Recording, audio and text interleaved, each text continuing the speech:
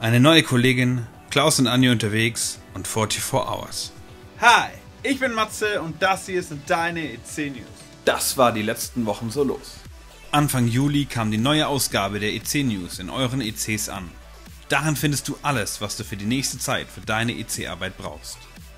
Seit dem 1. Juli ist Sabine Enschel die neue Verantwortliche für die Patenschaften bei der sozialmissionarischen Arbeit. Herzlich willkommen, Biene.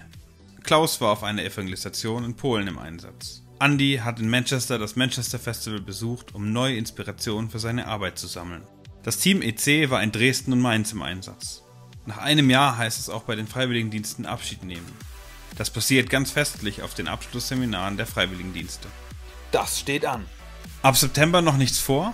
Die Freiwilligendienste haben noch freie Plätze für dein FSJ oder BFD. Hast du schon mal Urlaub oder eine Freizeit in einem der EC Freizeithäuser gemacht? Schau mal auf unserer Homepage nach und entdecke die EC Freizeithäuser.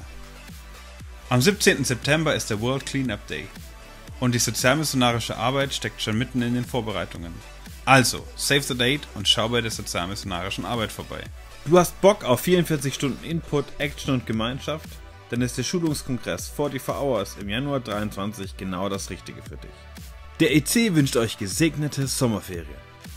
Die EC News gehen in die Sommerpause. Ab September sind wir mit frischen News für euch am Start. Bis dahin, seid gesegnet.